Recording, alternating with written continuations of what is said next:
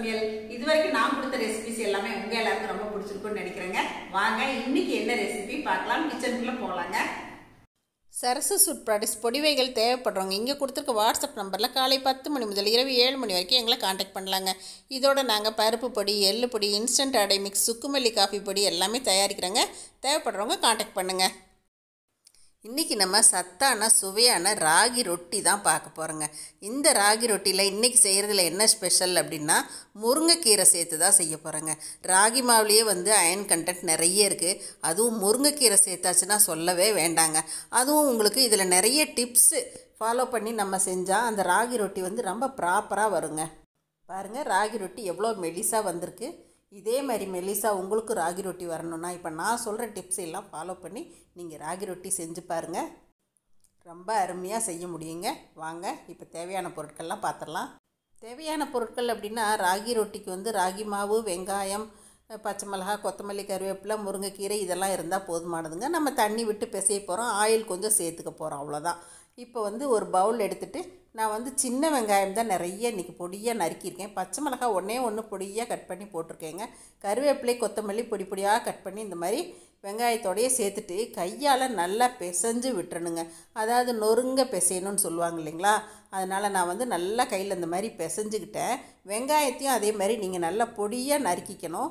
அப்போ தான் வந்து அந்த ரொட்டி போடும்போது மேலே வந்து துருத்தாமல் நல்லா ஈவனாக ஒன்று போல் வரும். இப்போ முருங்கைக்கீரை வந்து நான் தேவையான அளவுக்கு சேர்த்துக்கிட்டேங்க. ஒரு கைப்பிடி போட்டிருக்கேன். இன்னும் கொஞ்சம் கூட சேர்த்துக்கிட்டேன். முருங்கைக்கீரை நமக்கு எவ்வளோ தேவையோ அந்த அளவுக்கு நம்ம சேர்த்துக்கலாம். இப்போ வந்து கேழ்வரகு மாவு இப்போ நான் ஒரு கப் அளவுக்கு எடுத்து சேர்த்துட்டேங்க. கொஞ்சம் தேவையான அளவுக்கு உப்பு சேர்த்துக்கிட்டேன்.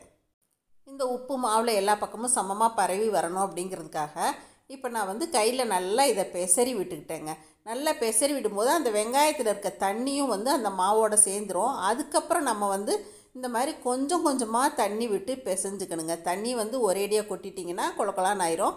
அதனால் இந்த மாதிரி கொஞ்சம் கொஞ்சமாக மாவை வந்து பிசைஞ்சுக்கணும். நம்ம வந்து சப்பாத்தி மாவை விட கொஞ்சம் கொலகொலப்பான பக்குவமாக தான் ராகி ரொட்டிக்கு பிசையணுங்க. அப்போ தான் வந்து ரொட்டி ரொம்ப நல்லா வரும்.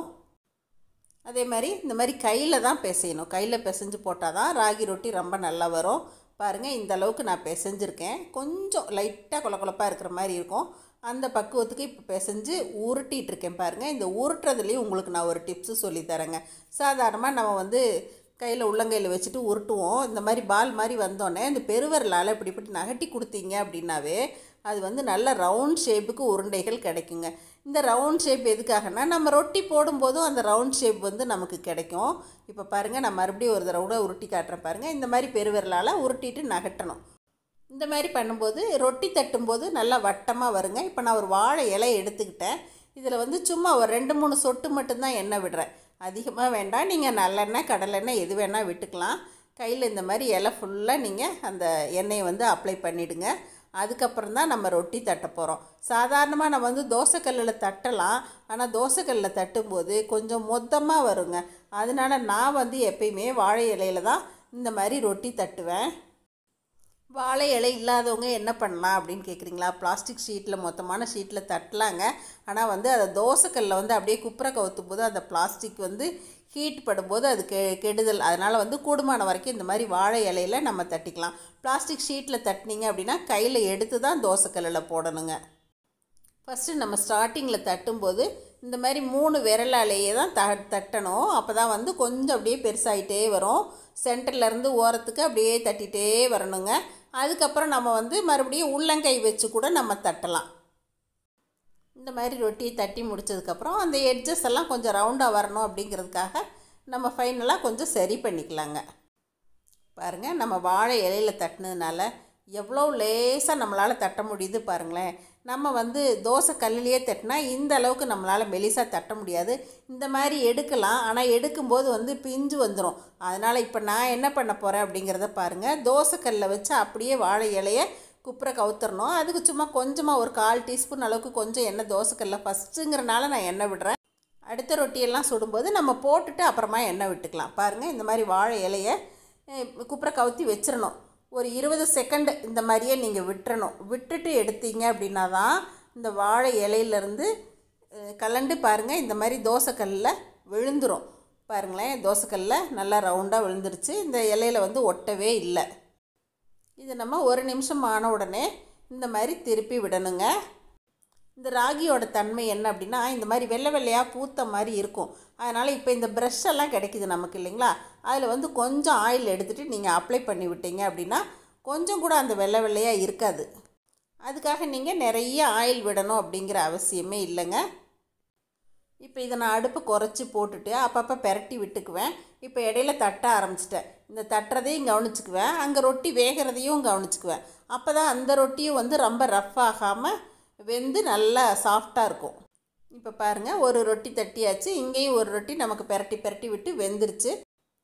இப்போ நம்ம அடுத்தடுத்த ரொட்டிகளையும் இதே மாதிரி இப்போ போட்டுடலாங்க பாருங்கள் இப்போ போட்ட உடனே இலை எடுத்திங்கன்னா வராது. இப்போ பாருங்கள் ஒரு பத்து இருபது செகண்ட் விட்டுட்டு அந்த இலையிலையும் கொஞ்சம் ஹீட் ஆனோடனே எடுத்தால் தான் எடுக்கிறதுக்கு வரும். அப்புறம் வாழை இலையுமே நீங்கள் ஒரு ரெண்டு மூணு சின்ன சின்னதாக கட் பண்ணி வச்சுக்கோங்க. மாற்றி மாற்றி போடுங்க. ஒரு பத்து பதினஞ்சு ரொட்டிகள் போடுறதுக்கு மூணு இலை போதுமானதுங்க.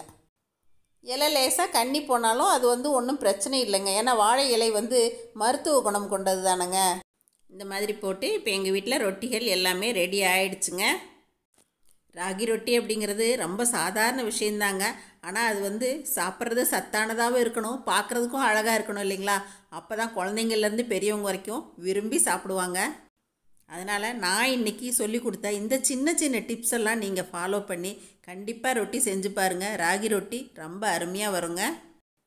இந்த வீடியோ உங்கள் எல்லாருக்கும் ரொம்ப பிடிச்சிருக்குன்னு நினைக்கிறேங்க. இதை பார்த்துட்டு எப்பயும் போல் உங்களோட ஃபீட்பேக் சொல்லுங்கள் ஷேர் பண்ணுங்கள் சப்ஸ்கிரைப் பண்ணுங்கள் தேங்க்யூ சரசு சமையல் பாருங்கள் சமையல் நல்லா பண்ணுங்கள்